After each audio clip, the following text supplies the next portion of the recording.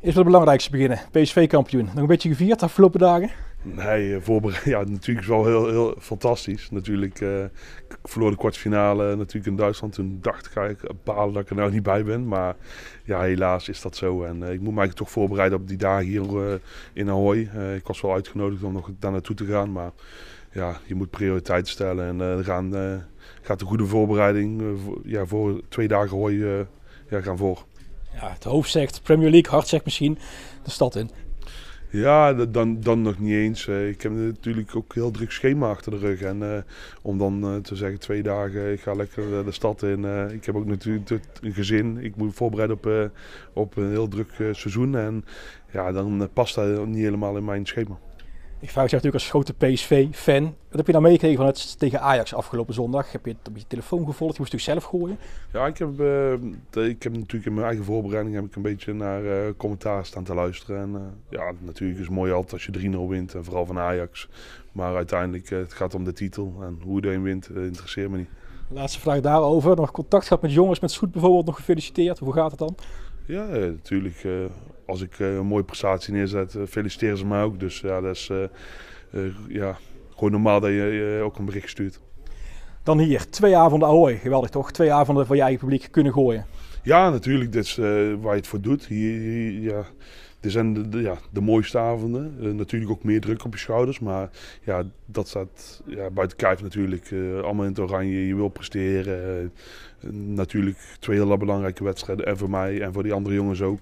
Maar we gaan het zien. Ik voel me goed. Ik sta goed te gooien. Ondanks een minder weekend natuurlijk. Maar ja, ja die neem ik voor.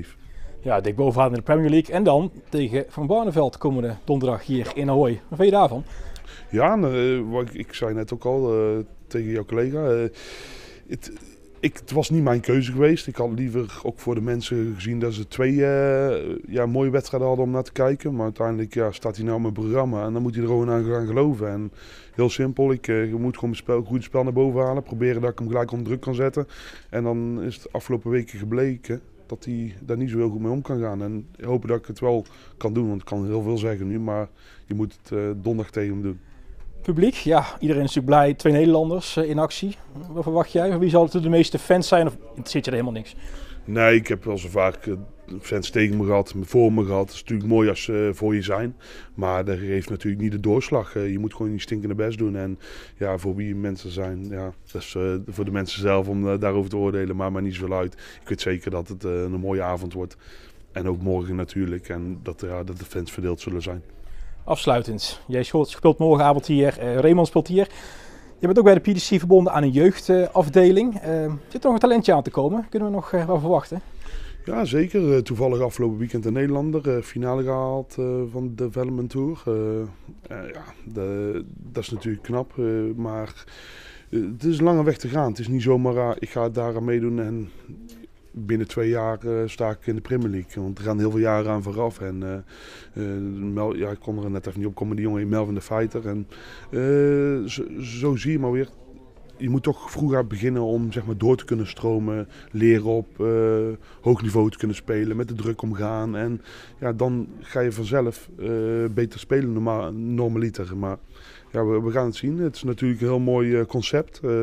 natuurlijk is het nog niet helemaal perfect.